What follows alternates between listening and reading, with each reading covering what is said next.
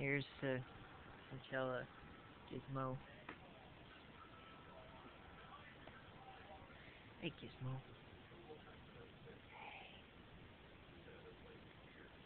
Gizmo in his cage.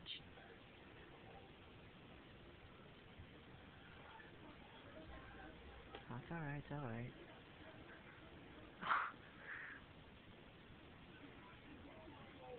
Sorry, it'll be in bad quality, but oh well.